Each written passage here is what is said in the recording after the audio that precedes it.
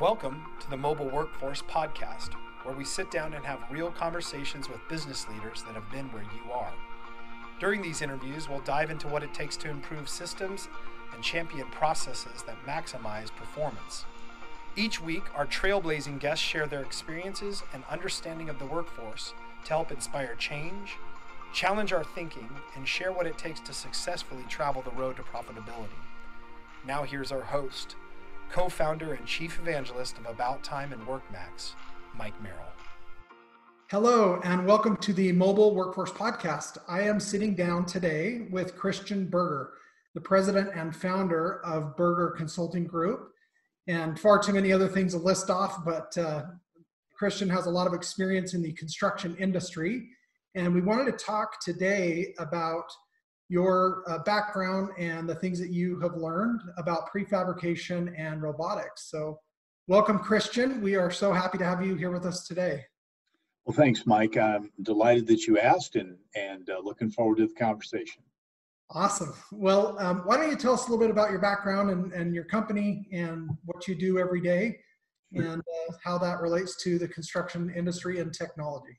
We'll do. We'll do. So, um, yeah, it's it's hard to imagine that I've spent 30 years in the industry, but I am getting close to that now.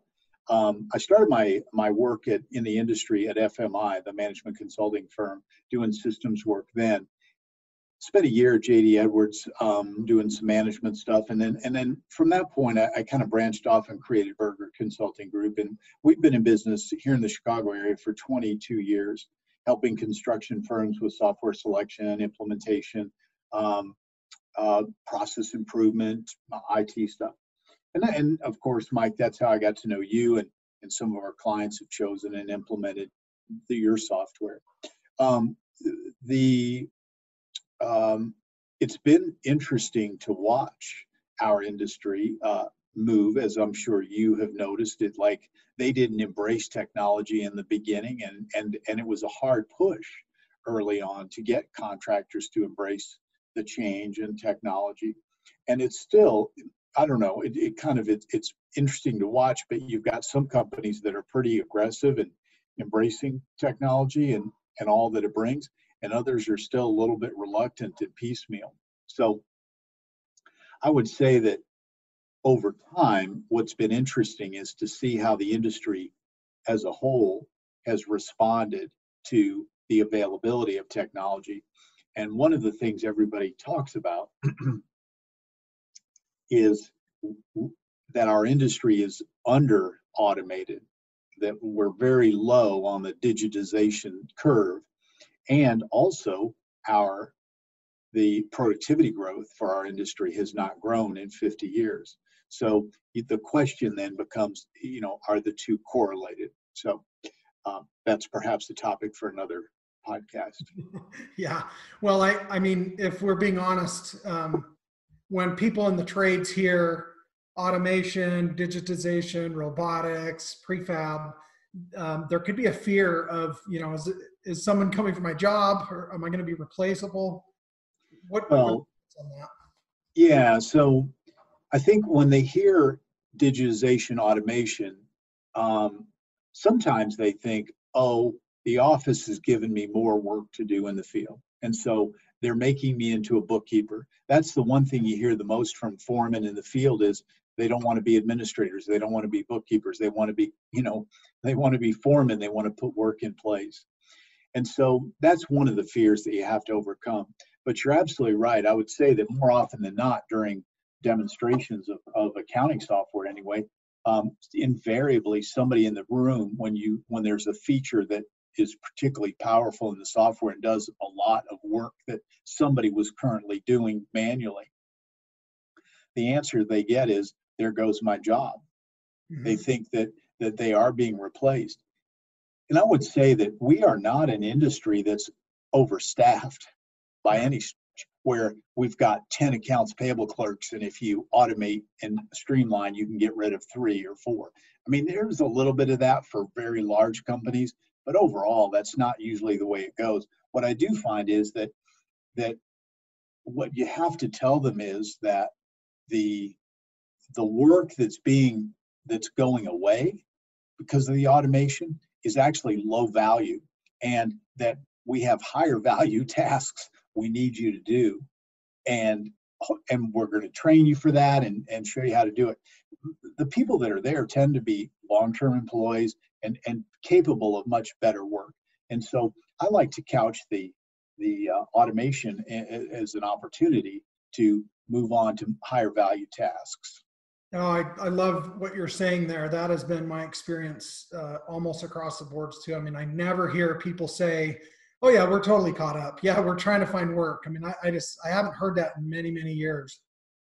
Um, yeah, I think, you know, to put it in terms, Mike, that you, your company probably deals with, if somebody, you know, you, you probably, you're probably too young to remember this, but back in the old days, um, companies would do manual timesheets and they would like fill out a piece of paper in the field and fax it into the office or they jam them all in a FedEx envelope and express mail them into the office.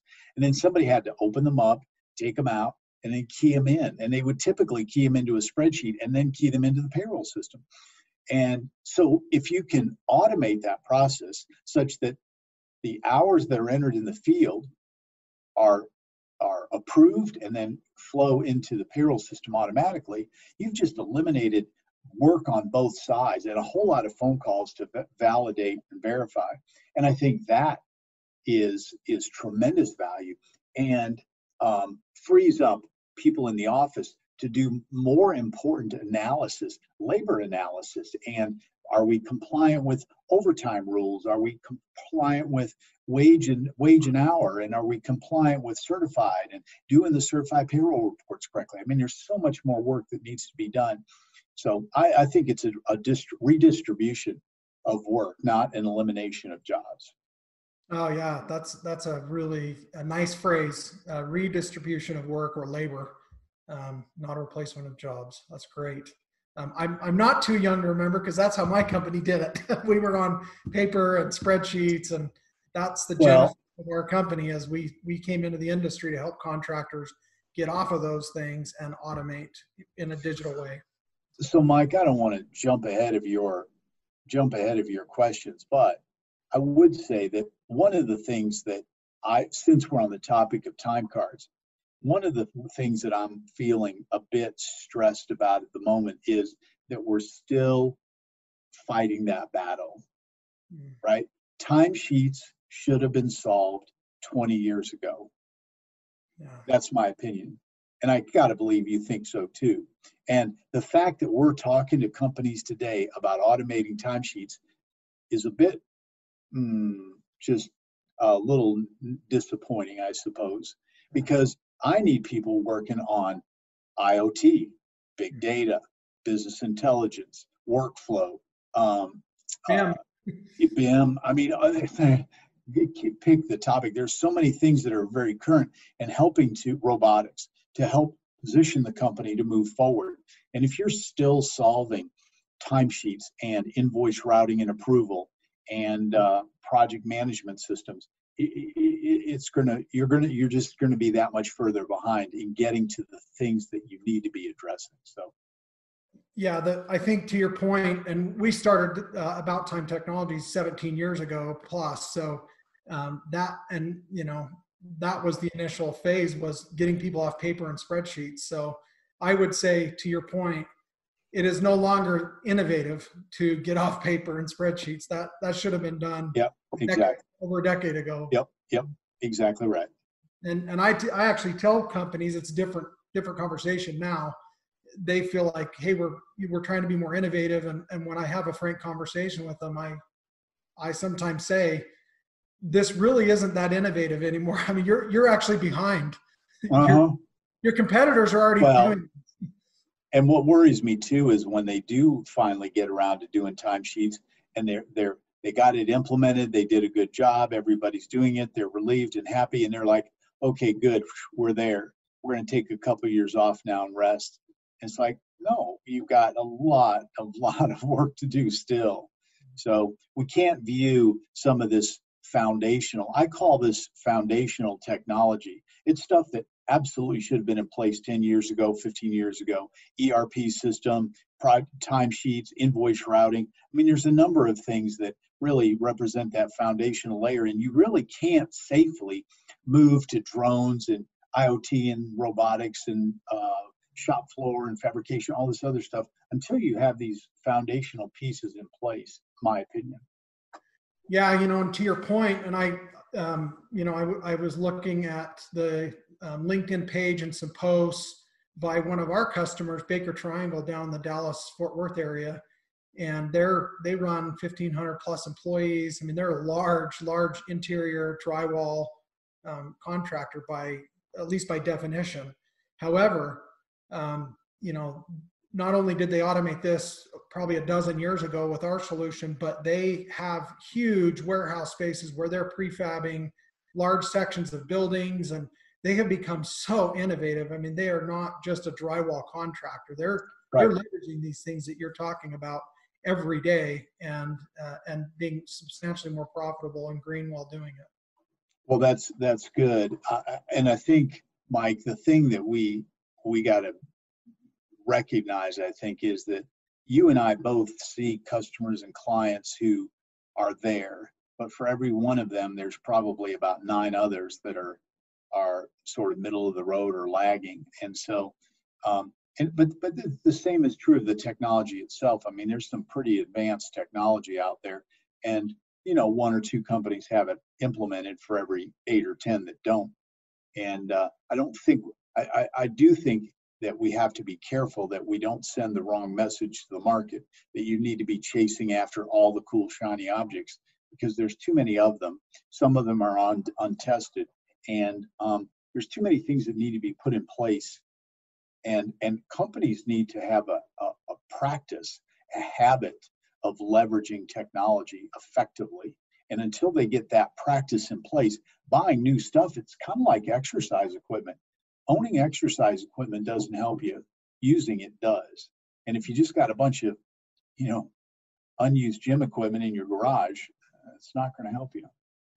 What a what a great analogy. I uh i i certainly see the same things that you do. And um and i think you know with with all of these advances in different industries um, different practices again not just in your manufacturing plants but again, these construction sites and buildings, a lot of them really are being put together in a warehouse somewhere and shipped on site to be fastened or installed. And um, one of the things that I've, as I've read and studied this topic, uh, the level of accuracy and the, the quality control that you can get in a controlled environment is is second to none. And so the. Well, in fact, it's it, what's happening is that owners are starting to stipulate that certain percentages of uh, the work has to be uh, prefabricated in a in a shop. The safety, the the climate control, the the QAQC, all of those are positive things. But you got to remember, in a traditional construction company, they have what are what could be called infinite resources. Mm-hmm. So you've got 10 job sites, and each job site has its own supply chain, and each superintendent and project manager are are um, in charge of that supply chain. I need another sub. I need more material. I need more labor. I go get it. With a prefab operation, you're now funneling a lot of work through a single face, which then means confined confined space, limited labor, limited equipment. So now I actually have to coordinate the work through the shop. It's not like one job goes all the way through the shop and then when they're done and shipped it, shipped it out, the next one comes through. They got three or four jobs going on at one time. And so now there's a lot of coordination. You got to tag things, you got to stage it, you got to plan logistics. And what's interesting, Mike, is that almost no one has an ERP system prepared for that kind of work. Mm. None of the construction solutions that are out there that you and I know about has what you would consider to be fabrication management. It's sometimes called MRP, sometimes called shop floor control. It's very schedule driven. And the ERP systems we have don't do that. And so I feel like some of the some of the manufacturing based ERP solutions that also have job cost are going to be making their way into the space because they do include that. Or potentially, and there's about four or five standalone uh, shop floor kind of programs that will be um, uh, implemented, deployed by these fabricators, and integrated back to the ERP solution. But it is a, a, a reckoning that I think is coming. And um, right now, a lot of the fabricators that I've worked with, even big ones, seem to be managing the shop floor with spreadsheets and dry erase boards and kind of traditional methods that way. Yeah, I think, uh, you know, and, and, to your point, and this is kind of a sidebar to that conversation, uh, we're seeing the adoption of SaaS technology and web based ERP systems and the importance of cloud access and collaboration in one system, you know, not one installation, so to speak. Yep. Well, for sure. The, the, um, but the, the deployment method and the functionality within are sort of two separate things. And I feel like the, um, and actually what's another element of this is to your sort of outline to me was the mobile aspect of things. So what what think about this. If if you've got a foreman or a superintendent in the field and he's used to picking up the phone and calling a sub, calling a supplier and say, bring it. Now he's actually having to get on a mobile application and say, send me the ductwork for the first floor. Well, that's got to go to the shop guy who's fabricating that, and he's got to stage it up, load it on a truck, and get it out to the job. Well, when is that coming? See, that's the other thing that's pretty fascinating about all this is in a manufacturing environment, your demand is known for a period of time. You know what your demand is going to be through that shop floor, and you can plan for it. Mostly, there's some changes. Well, in construction, as we all know, the general contractor is dictating when things are going to happen and the speed and the pace and deliveries and all that stuff. And so, and then and then you've got rain or snow or whatever happens. So there are so many variables that affect the delivery of material and the demand out to the job site that I would not want to be the dispatcher in the shop trying to manage the shop floor because I think it's a, almost a futile uh, kind of battle. Yeah, and I, I think um, when you were talking about that process and how you've got a finite resource and, and limited time and space to accomplish certain things, I think of like a cabinet shop. Um, you know, that's a perfect example of a prefabrication facility. They're building doors, putting you know all the different components together in order. You can't do it in the wrong order, or it won't look right. right? No, you're you're 100% right. But I'll tell you, the only problem with that analogy, Mike, is that cabinets aren't that heavy. Good point. so they can be moved out of the way. They can be taken offline, put aside, run another order through, and then finish it up. Right? With with big mechanical stuff, it's a lot harder, and you only get one shot at some of this. So um, it's it it is an absolutely fascinating time to be in the industry to look at all the transitions that are being made, and and it it's that demand and that expectation that the industry is creating that I think bodes poorly for the contractors that are still working on invoices and timesheets because I mean it's a world of difference. One of the things you asked me about at one point was how how are IT departments changing to manage the this this change or how do they need to? And I would say that it's, it's 50 50, right? I still run into construction companies who have an IT shop very focused on the gear. It's infrastructure, it's servers, it's it's how do we get out to the cloud and backup and redundancy and and it's it's cybersecurity, which is important for sure. And but it's not innovation, it's not leading, and it, it's more maintaining and and I think that that we need more and and one of the things i hear from a lot of ceos and companies is fr- frustrations that they have with their it shop is no leadership no vision. Now admittedly the rejoinder to that from the it guys would be tell me what you want. And i think that's a bit of a cop out. I think that that it's a combination of the two. The ceo and the top IT person in a company should be able to have a conversation on something other than cost mm-hmm. about where's the company heading, where's the demand coming from, what are the priorities, and how do we get, and, and then a little bit on how do we get there. And that that has not been the traditional conversation between the CEO and the IT director. The IT director comes in and says, I need some new servers. The CEO says, How much money? They say it's this much money. He says, Okay or no. And that's the like that's the depth of the conversation. Yeah. And that's frustrating to me because I think that there's so much more needed. So one of the things that I, I, I do talk about sometimes is the need for um, IT to become um, to not only to, to restructure to meet the current demands of the organization and not to meet the past demands.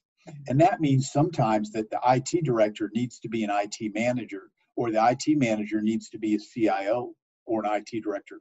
And that potentially you break IT into two, with infrastructure being one department and help desk and backup and all that. And then the other group is an application group that works specifically with estimating BIM, VDC, project management, accounting, and HR. And there, that group is very uh, customer facing.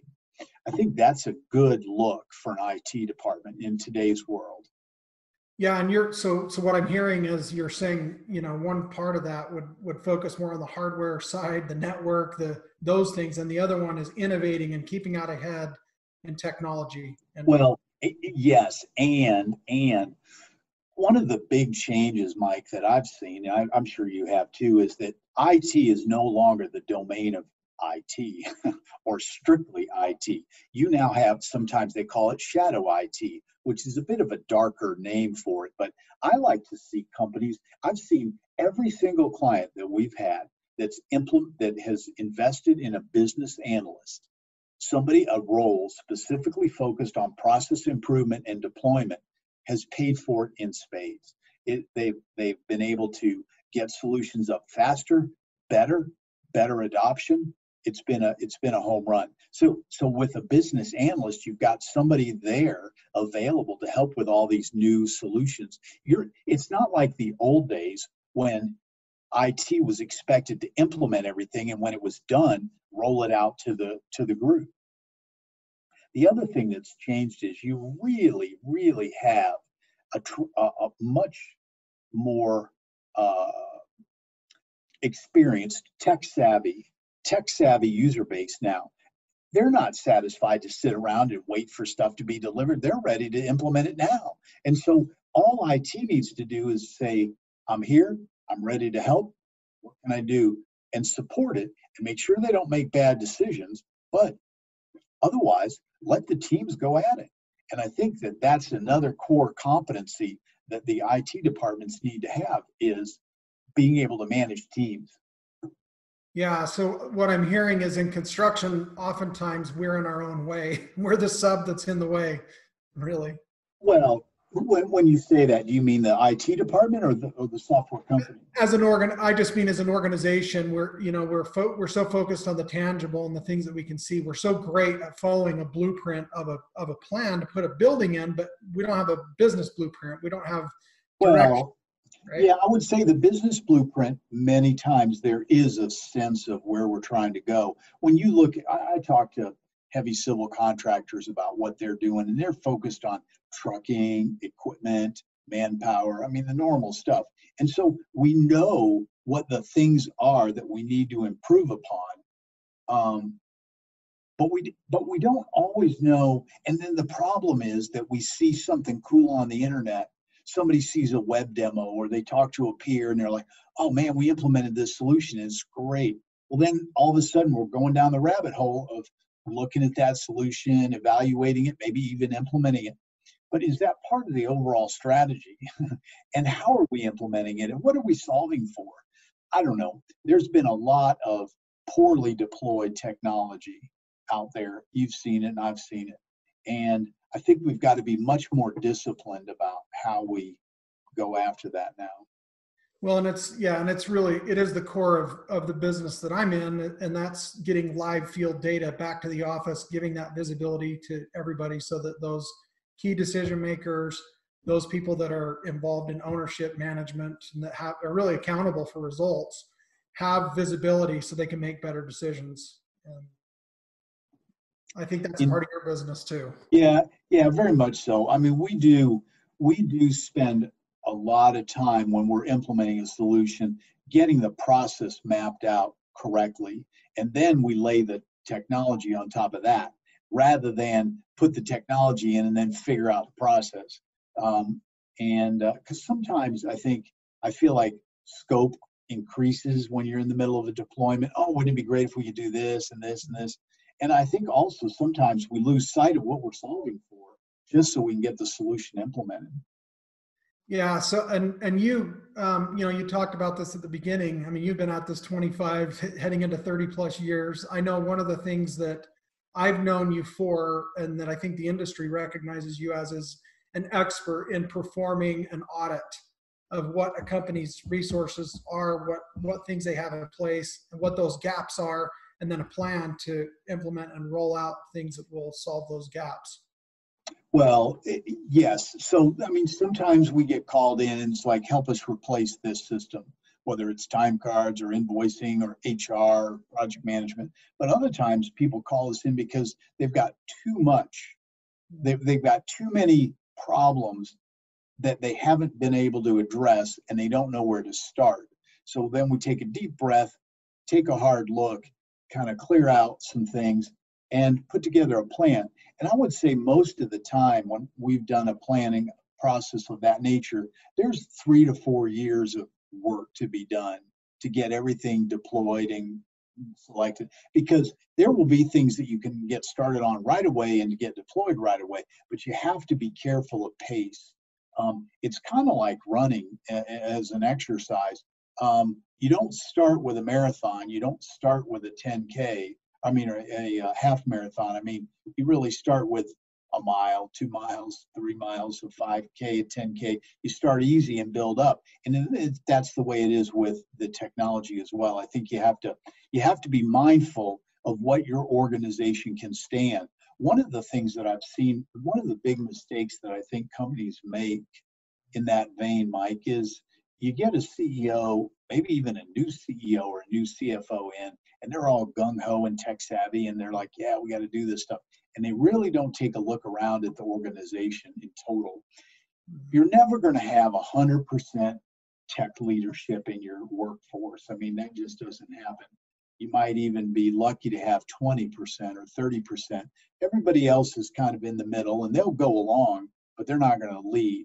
But you're going to have some laggards in there all the time the people who just don't want to go and I think sometimes companies make the mistake of listening to the laggards and they're mm-hmm. like, oh no. And you've heard it, Mike. You, how many times did you were you unable to sell a, a mobile timesheet solution to to a customer because they said that one guy or two guys in the field wasn't ready for mobile device?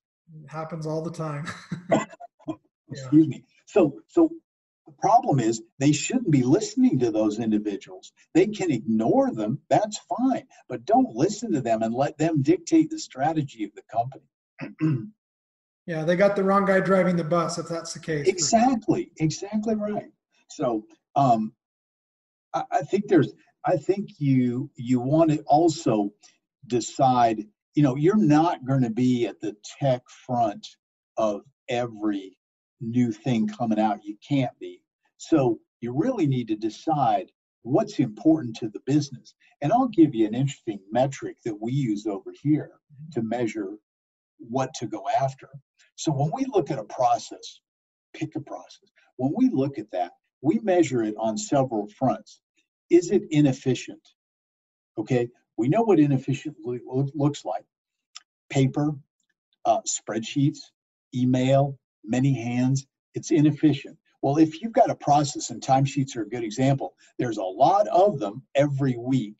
They're very important, and it's manual. Well, that's an that's a priority.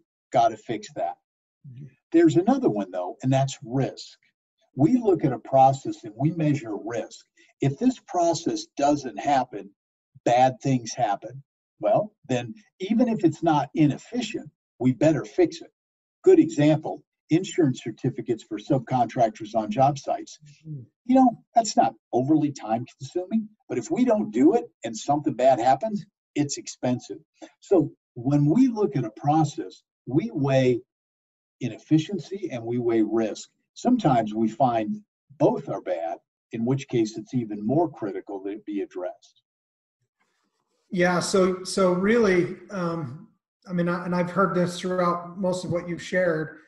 The the priority and order that you execute on any of these plans is almost important as a plan itself. It's Yeah, I, I think so because, um, well, w- one of the things you definitely want to do is, I, I- I think we all kind of knew this from day one in business is you want to have a, you want to have kind of a home run or something positive as your first outcome. You don't want to have this big audacious goal and fail. and so do something you can succeed at. One of the other things that I, I, was prepared to talk a little bit about is, you know, what are the critical items, things you need for a good deployment? And one of the things you need is executive sponsorship.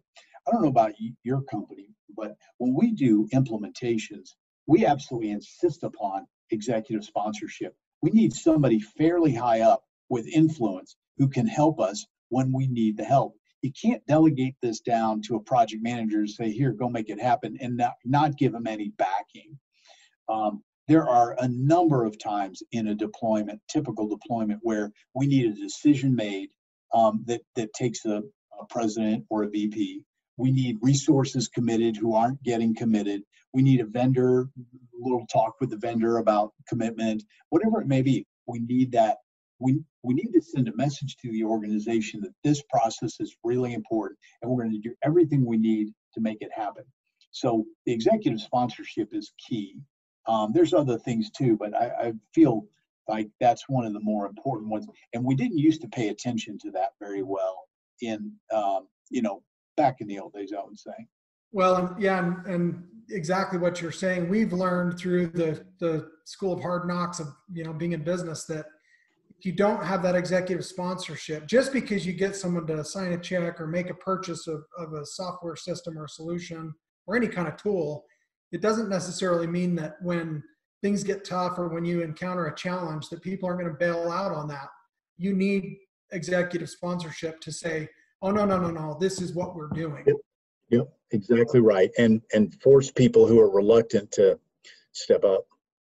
Yeah, and I think again, you know, you've been at this a very long time. I think um, one of the things, and you you probably don't work as commonly with smaller companies, but how does a, a SMB, someone with you know 10 to 50 employees, how do they get involved in technologies like these we've talked about today, and kind of get on that on that path to improvement?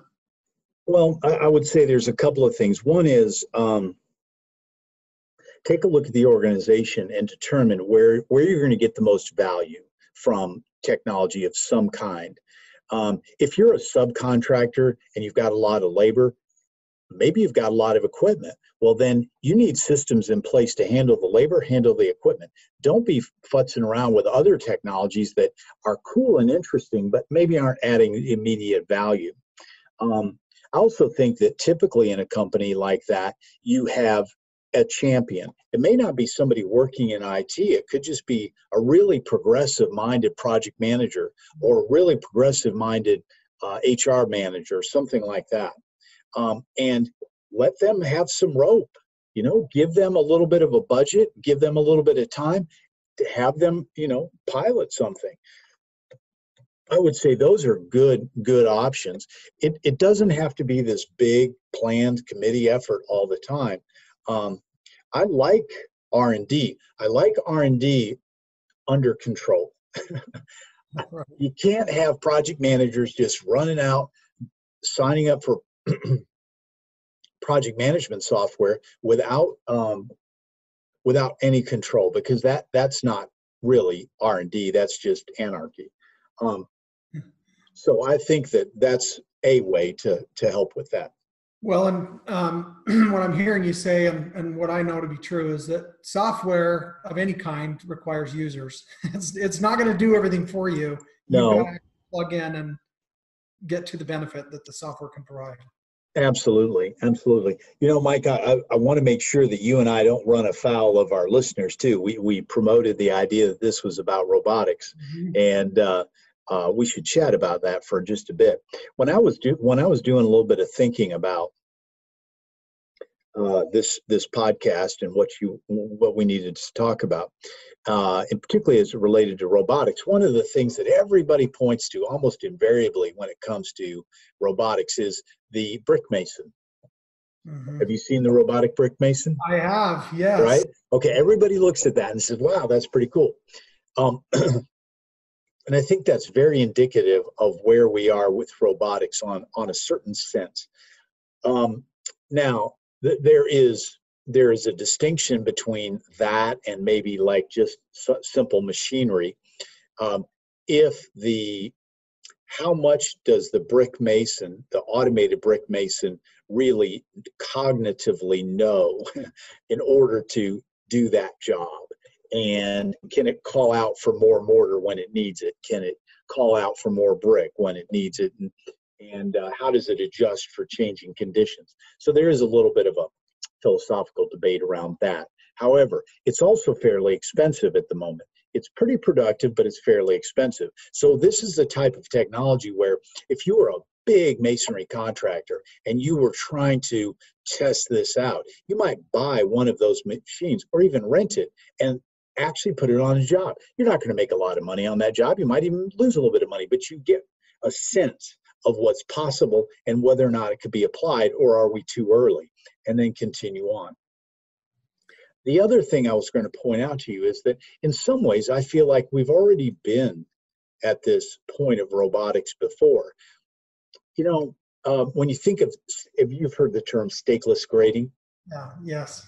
Right? And so we already have computer equipment that communicates via satellite with um, or or cell technology with um, uh, and GPS signal with uh, bulldozers and pans and scrapers, and so they're they're guided with um, uh, computers already. And so now we don't need a 20 year veteran operator on, on a, a pan or a scraper or, or, a backhoe. We can actually let the computer do the work or a lot of the work. so is that robotics? Mm, you still need an operator, but, but there is machinery that's being guided along the way.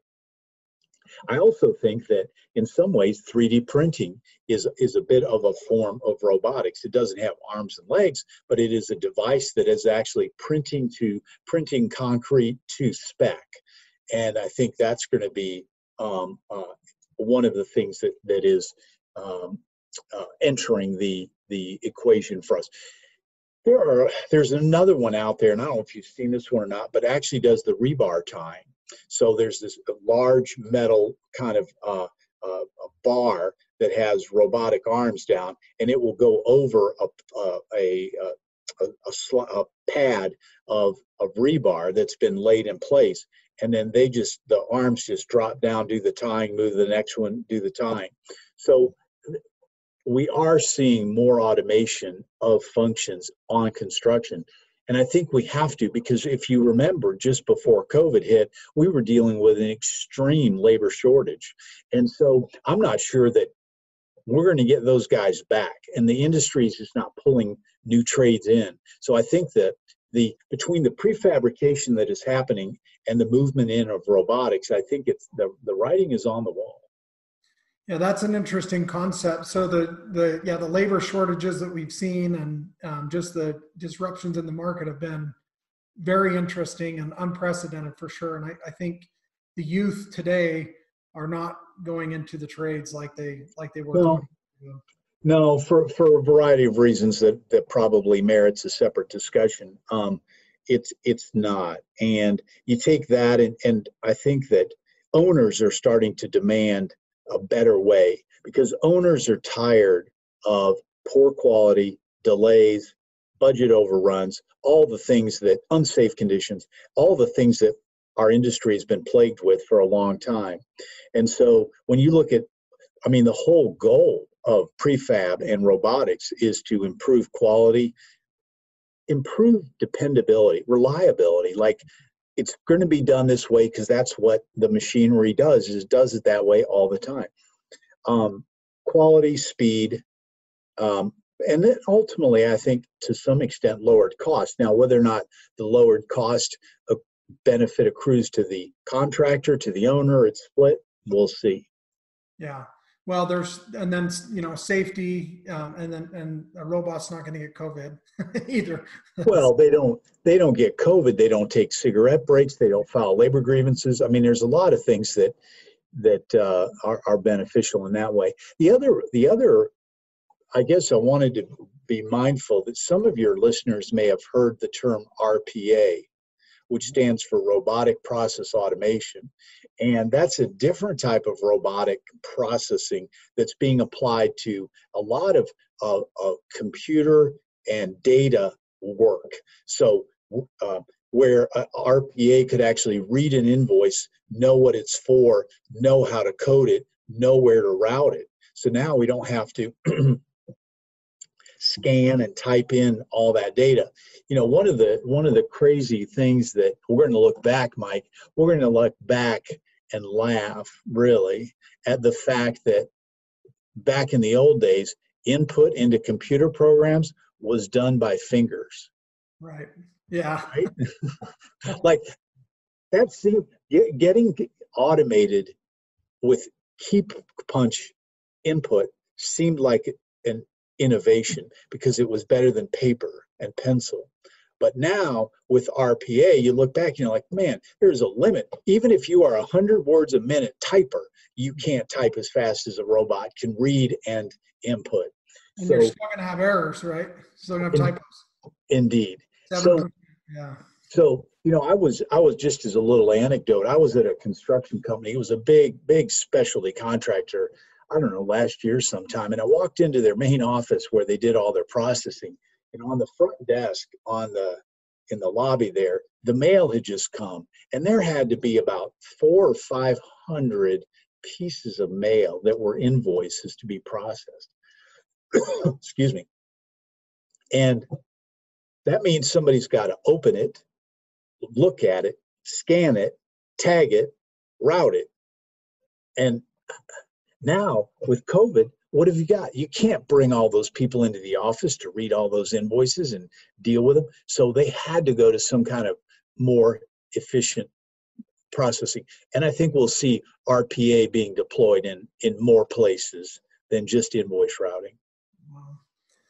Yeah, there's a, it's amazing all of the different areas and, and kind of tunnels we can go down in, um, you know, improving overall construction. I guess sounds like we need to do another episode down the road so we can have some more dialogue.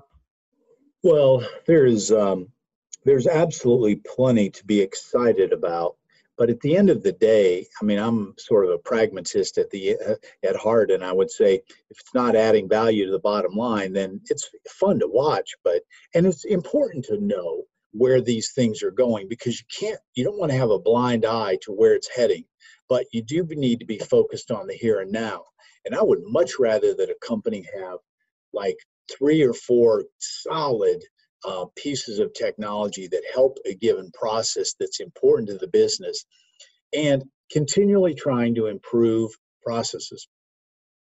One of the things that, that I feel like, and maybe this will be in, in, in closing a little bit to, to your last point, um, is what should the IT director be looking at and focused on? And there is technology that the IT director themselves should be looking at for the business, not estimating, project management, human resources, etc. So, middleware. We're seeing middleware deployed much more uh, actively now than before. So, you'll have a piece of software that sort of sits at the enterprise level and takes in data, transforms it, and provides it to another system, gets data back, transforms it, puts it back. So there's this back and forth that's being handled automatically. Back in the old days, we had this antiquated batch upload where you'd have to browse a file, find the file, click it, upload it, and it would error out. And, I mean, it was all manual. So middleware accomplishes that. The other thing we've got to be on the lookout for or be planning for is big data. big data was being used as a term in our industry, I feel like prematurely. Mm-hmm. We had big files. we had point we had point clouds and we had drawings, we had photographs, we had videos, we had a lot of content that was big, but we didn't have legitimate big data. Now, with equipment that's providing telematic data and HR solution, uh, sorry, um, biometric solutions like uh, heart rate monitor, temperature monitors, things on our hard hats or wristband, what have you. We're, we're able to get big data in and can start to do analytics. But our systems that we're using aren't really prepared for that. So, so consequently, if you're a pretty savvy IT director today, you're you're being mindful of um, data warehouse and BI, and you should have an, your own enterprise version of that rather than the data warehouse and the BI tool that your ERP system gives you versus your HR system versus your project management system. I don't need eight BI tools in different applications. I want one BI tool that I can look at for everything. And that's a big, that's, you know, that's a good goal. And I think it's out there. Uh, but uh, that's what the IT directors should be focused on now, in addition to supporting um, the user community. Wow, a lot, a lot to absorb and digest. Thank you so much, Christian. I've uh, loved our conversation today. Um, you always have a lot of insight to provide, and, and your expertise is appreciated um, by myself and our listeners as well. Happy to do it, Mike. I appreciate you asking. So, so as a closing question, one um, just one thing I like to end on. What's one hack or kind of process that's been impactful for your business success that you've kind of adopted and made a, a key element to how you operate your business today that others might be able to learn from? All right. Well, I, I, I do appreciate that question. I, I think I, I also teach. Uh, I teach a class at Northwestern uh, in the fall, and uh, I find that asking good questions is actually more valuable than anything else. It's more valuable than anything I know. Is really asking good questions. And so, if you're going to interrogate a process, sit down with a group of people and really look at what you're doing. Well, ask good questions because from the questions, you will learn what you need to know about how to fix a process or what's broken. Um, I like to think and plan ambitiously. I, feel like I don't want to just focus on like today what can we fix today? I need to fix something for the future because if i only focus on today then when i get to the future uh, next week next month next year I, i'm like well okay now what? So i want to be thinking ahead. I think that's kind of critical. The other piece when i do any work at all is always focused on developing a strong team. And you've seen this in your business mike. You know you know going in when you've got a strong team available to help deploy your software, it's going to go well, no matter what. And where if you've got a weaker team, it's a lot harder and a lot more risk. So I want to have strong teams available. Um, and I also feel like the last thing I'll say is that I really like for people to understand why. Why are we doing this and how is it going to help? Not just here, click here, fill this in, post this. I don't the mechanics aren't usually interesting. I mean, they're necessary, but they aren't interesting. But helping a guy or a gal figure out why are we doing this and what's the purpose, that feels important as well. And I feel like if I if I'm doing those four things, I'm generally in the right place. That's fantastic. So ask more questions and make sure they drive to the why. That, that sounds indeed, great. indeed. Well, thank you again, Christian, for joining us today. Uh, very much enjoyed it, and uh, thank you, listeners, for tuning in to the Mobile Workforce Podcast sponsored by About Time Technologies and WorkMax. If you enjoyed the conversation today and were able to learn anything new or insightful, please follow us on Instagram at WorkMax underscore and subscribe to the podcast on iTunes or your preferred podcast platform. Also, remember to leave a five star rating and review, which will help us to continue to bring these meaningful and helpful conversations to help improve your business and your life.